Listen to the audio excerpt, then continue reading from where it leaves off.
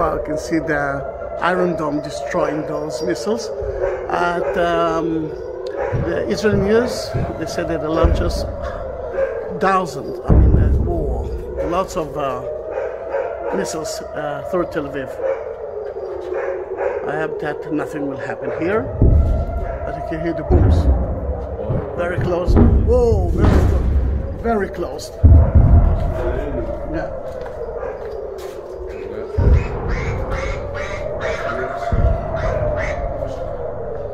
aquilo. Cano.